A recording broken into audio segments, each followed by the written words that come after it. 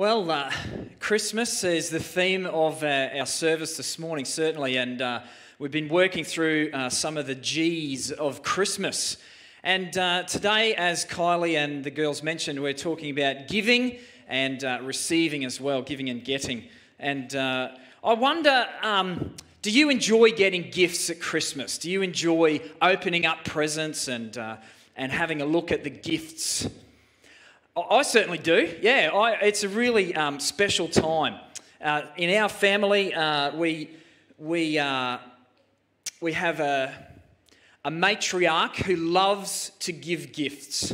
So Kylie's mum will go all out, and uh, she's probably been shopping and, uh, and, and getting gifts for the family uh, for the last couple of months. And so often at our Christmas family gathering, there is many, many gifts and uh, lots and lots of wrapping. And, and one of the things that often happens at our family uh, is that uh, the,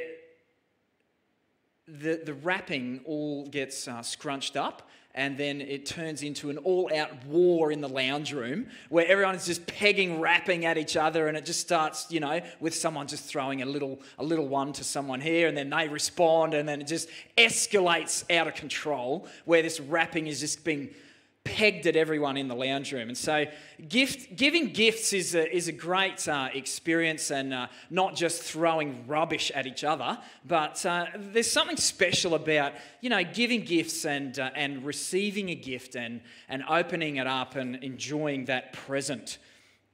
And so, um, I, I, often remember as a kid, you know, asking the question, oh, what did you get at Christmas? You know, what, what did you get at Christmas? What did you get for your present? You know, and asking around as a kid what gifts different people got. As an adult, though, I tend to find myself asking the question more, did you get a gift at Christmas? Not what is your gift? Did you actually get a gift? And, and often you can open up your gifts at Christmas and, and find it's, uh, another set of socks and jocks to get you through till the next year, and, uh, and that's okay. But there's something special about unwrapping uh, presents. And this morning, I'd like us to uh, dig into God's word and unwrap some gifts that we find in the gospel. Um, and so, our Christmas uh, giving of gifts often uh, is, is, originates from um, stories of giving gifts.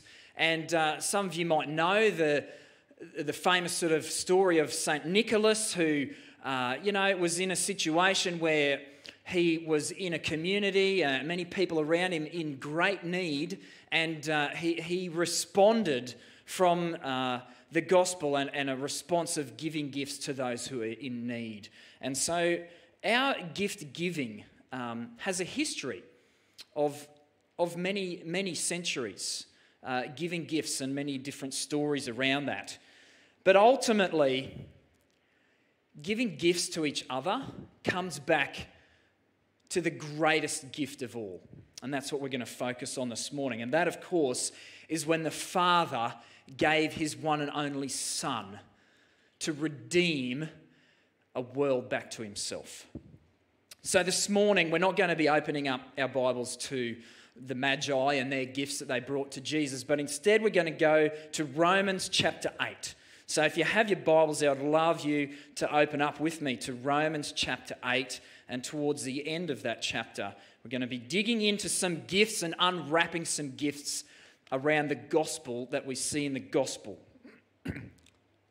so it would be great just to read this passage together and then we'll have a look at it. So, Romans chapter 8, we're going to start in verse 32 through till the end of the chapter. You will recognize these verses, they're quite famous. I was talking with Josie this morning and she's got them highlighted in her Bible. Um, so feel free to get your pen out if you wish and, uh, and, and take some notes. Let's read together. Romans chapter 8, verse 32. He who did not spare his own son, but delivered him up for us all, how shall he not with him also freely give us all things? Who shall bring a charge against God's elect? It is God who justifies. Who is he who condemns? It is Christ who died, and furthermore is also risen, who is even at the right hand of God, who also makes intercession for us. Who shall separate us from the love of Christ? Shall tribulation or distress or persecution or famine or nakedness or peril or sword? As it is written, For your sake we are killed all day long, we are counted as sheep for the slaughter. Yet in all these things we are more than conquerors through him who loved us. For I am persuaded that neither death nor life, nor angels, nor principalities, nor powers, nor things present, nor things to come, nor height, nor depth, nor any other created thing shall be able to separate us from the love of God which is in Christ Jesus our Lord. I don't know about you. Have you got goosebumps in reading that? That's just an amazing truth of the gospel to read this morning. Amen. Amen. The greatest gift of all, let's start in verse 32. He, that is God the Father, who did not spare his own Son, but delivered him up for us all. The greatest gift, Jesus. Jesus the greatest gift. But why, why would God do that? Why would God the Father give up his only Son? Why would that happen?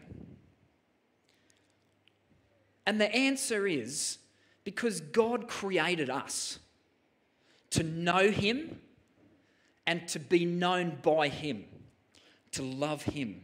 And so here we see this ultimate gift, the very first present that we're unwrapping this morning in this gospel passage Jesus Himself. God chose to do this, to redeem us back to Himself. Isn't that amazing? Because we rejected God. We rejected God's glory and we, we instead chose to do our own thing. And in our rejection uh, of God, we, have taken on um, things of the world as an answer to our issue. And we try and seek satisfaction out of the things around us. You see, the story of our sin is that we've exchanged God and His glory for the glory of stuff. We would rather live in our world with all of its treasures rather than have God. And so, in our rebellious state, God reaches out with a rescue plan. We are deserving of death for our rebellion, but God, in His grace and in His mercy, provides a way and he forgives us for the punishment of that rebellion. You see, sin has to be punished. Sin can't go unpunished. Imagine if God just said, Oh, you know, we'll, we'll just sort of sweep it under the carpet, all that, all that rebellious things and stuff that you've done, we'll just sweep it under the carpet and forget about it. It would be like me uh, coming around to the Grants place. You know, they've got a, a, a nice four drive that I'm a little jealous of, maybe, and I decide to steal it off them. And I go and take their Prado and I drive it around the place and I, I crash it into a few things and I end up destroying their vehicle. It's not mine. And so I end up in front of the judge at court. And there I am, pleading my case. I know that I've done the wrong thing. I've just totaled someone's car. And the judge just says, You know what, Dale? You, are a good guy. You've done a few good things. You know what? We'll just, we'll just forget about the damage that you've caused and we won't worry about it. Um, just, just forget about it. We'll just sweep it under the carpet. Don't worry about it. You get off scot free. Could you actually imagine that happening? Like, maybe in our broken judicial system, we, you know, sometimes there are some dodgy things that do happen. But on the whole, society in general, there would be an uproar if something like that happened, especially on a grand scale. And so, God can't just sweep our sin and our rebellion and rejection of Him under the carpet. Sin has a punishment and it needs to be dealt with. And so here we see God the Father did not spare his own Son, but delivered him up for us all. Jesus, the greatest gift. For us to receive God's forgiveness, for us to exchange our rebellion, or for God to, re- to exchange our rebellion for his righteousness, sin needed to be dealt with. And the amazing message of the gospel is, that we see in here, this first gift that we're unwrapping, this gift of Jesus, is, is just that, that he was born he was born as a baby, but he grew and he lived and he died. He was born to die. And he lived that perfect life and he died in place of us. He who did not spare his own son, but delivered him up for us all. And Paul, in his letter to the Romans, goes on in that verse, in verse 32. If you keep reading, he says, how shall he not with him also freely give us all things? So, our first gift is Jesus and the forgiveness that comes through him. The second gift that we see here in this same verse is that God will freely give us all things. Because if he's given us Jesus, if he has given us the greatest gift that there could ever be, why would he give us everything else as well? If the Father was willing to send the Son to take our punishment, then why would he withhold anything else? He's given us Jesus, the greatest gift. And Paul goes on to say that he's given us everything else as well. God will go to any lengths to bring us into his family. So Paul's not saying here that this is that we should expect or uh, to wake up with a Ferrari wrapped uh, un- underneath the Christmas tree this Christmas. What Paul is saying is that the, the Father was willing to give you everything.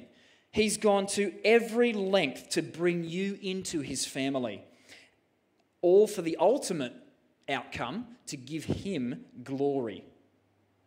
So, no matter what trial or difficulty you might be going through, we can know that this is a gift of the gospel to us, that He has freely given us all things, that, that we can turn a situation back to giving Him glory. You see, the gospel is not just us being saved out of our rebellion. It's also the transformation that we go through for the rest of our lives. This ongoing work in our lives as we are conformed and shaped and molded to be more and more like Jesus. So it doesn't matter what we've done in our past, it doesn't matter if we've been a thief or a, liar or we've.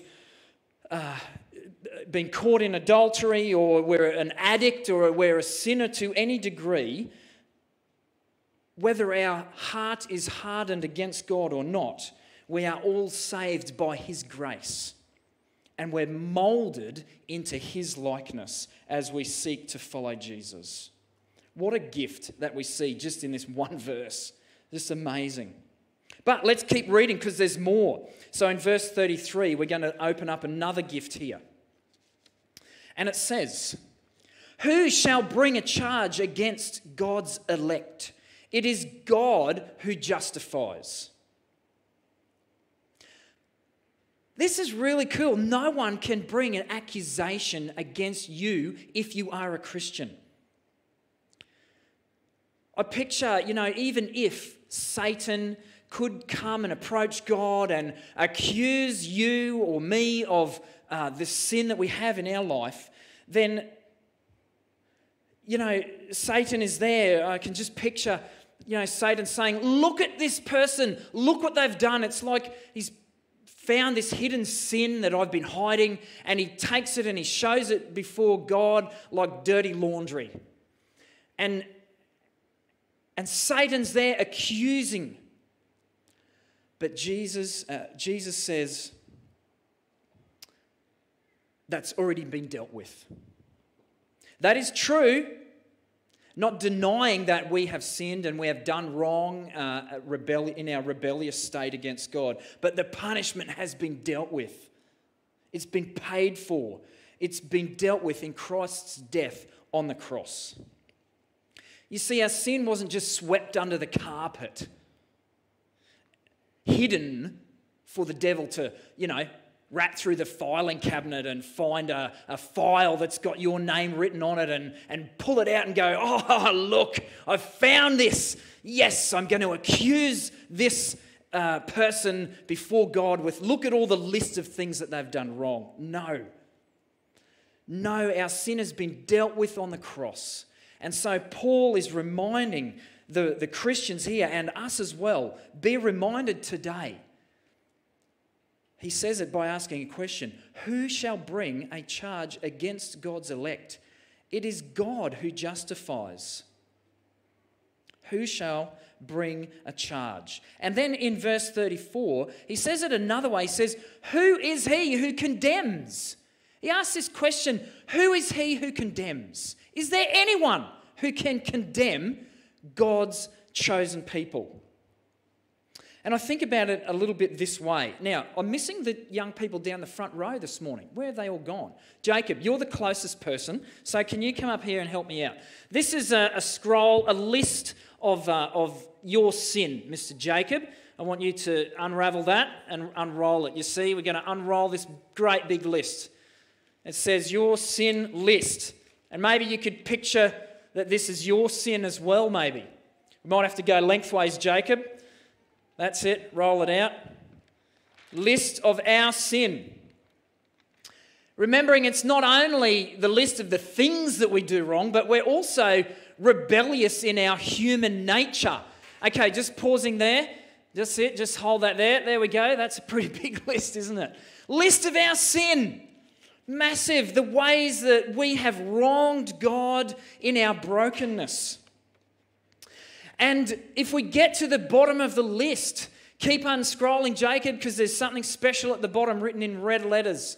That's it. You can uh, just roll it out, kick it down the, the aisle with your, with your foot there. That's the way. Keep it going. It's right at the bottom, all the way to the end. Look at the list of wrongs that we have before a holy God. And right at the bottom, what does it say? Read it out in big words, Jacob. Anyone else see it down there? Paid in full by Jesus. Paid in full. You see, we are broken before a holy God. We, in our rebellion, have wronged God in so many different ways. Yet the gospel gift is Jesus has paid it in full. Isn't that true? Beautiful, isn't it? So, Paul is reminding us here that our sin has been dealt with. It's been paid in full by the blood of the Son on the cross. And so, when the devil comes to accuse us, Christian, we need to respond not by saying, Oh no, he's found that out again, he's accused me again. No, it's been paid in full. And Paul reminds us here who can condemn us? Before God? No one, not even the devil. Punishment for our sin was met on the cross. Our sin has been dealt with once and for all. What a gift, hey? What a gift in the gospel that we find at Christmas. Paid in full. We need to remember that. We need to remember as Christians not to walk in guilt and shame, but to walk together as His people who have been set free from sin. So we need to confess our sin to one another, James says, and share the journey. Walk together. Don't be ashamed. Jesus has forgiven you. What a gift. Let's keep reading. Not only uh, is there no one who can condemn us, but in verse 35, Paul goes on to say, Who shall separate us from the love of Christ? Shall tribulation, shall distress, shall persecution or famine or nakedness or peril or sword? What can separate us from God's love, Paul says? Knowing our gifts that we have in Christ is truly important for us as Christians. Knowing that our sin is paid through Christ's death and that nothing can separate us from the love of Christ is been paid for. Anything that could separate us from God's love has already been dealt with and paid for. What a gift. Nothing can separate us from God's love. I want you to picture, uh, just as an illustration, uh, um, I want you to picture a really hot summer's day. I know that's probably not hard to imagine because we've been going through a few just in the last few days, but picture a hot, hot day and you are a concreter. Just imagine that. Imagine uh, that you're, um, you're, you've got a massive uh, slab that needs to be poured during the day, and it's going to be hours and hours of work. So you're up early, you're there ready to go, all the formwork's been done, it's ready to pour the concrete, the trucks are arriving, and, uh, and, and you've got a massive day ahead of you. Um, you're on the screed. The boss has said you're the one screeding it, so you're bending over all day long screeding. You got your gumboots on, and you're just sweating and sweating, and you're just so tired. The day goes on, and uh, and someone comes up to you knowing that you're probably getting a bit dehydrated, and they give you this nice, refreshing Gatorade that's been straight out of the fridge. And that just encourages you and just, uh, you know, fills you up a bit, and you get going again and back into the job because there's another cement truck coming. And so back into it again, and, uh, and it, the job goes on, and you're just so weary at the end of the day, you're wrecked, absolutely wrecked. But the job's not finished, and so they put up these lights to keep you going into the night. And it's 10 o'clock at night, and finally, the job is finished. And you, you go to your car and you just collapse into the seat of the car, just wishing that the day would be over. If you could just get home and just flop into bed, exhausted, it would be all good. But on the way home, you have to go past the, the toll bridge. And it's one of these old school tolls where you don't have to, you know, have a card that, you know, automatically takes money out of your bank account. You actually have to put money into the tin. Some of you might remember them, yes? Okay, so you actually have to place money in. And here you are in your car, you're driving up and you've arrived at the toll and you have to put money in and you realize you don't have any cash. I don't know if you've ever experienced that before. Yep. And so you don't have any money and you're just pleading with the toll operator, please, can you let me? You know, I've had a massive day, you would not understand. Can you please just let me through? And the answer is no, you cannot go through.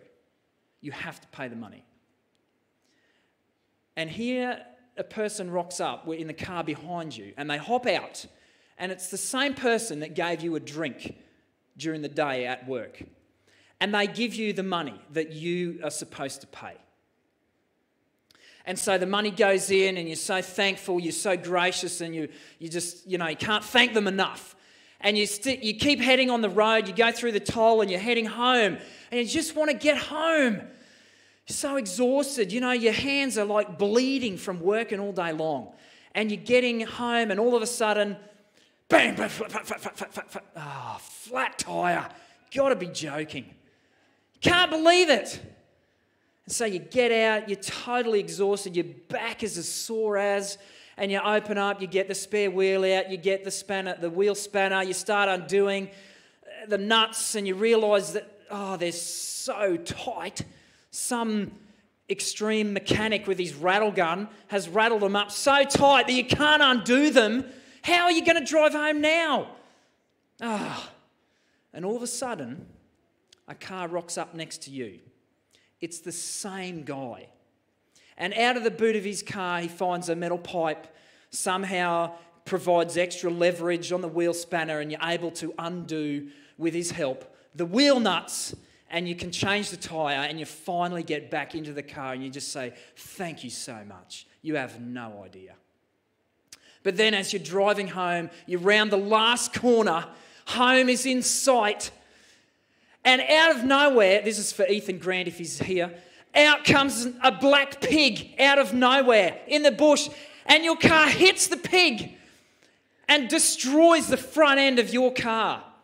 Absolutely destroys it. Not only does it destroy the car, but it bangs up your leg and you can hardly even walk. And so you hop out of the vehicle and you're just like, I cannot believe what has happened today. This is, and you're just so distraught. You sit beside the car and tears just start coming.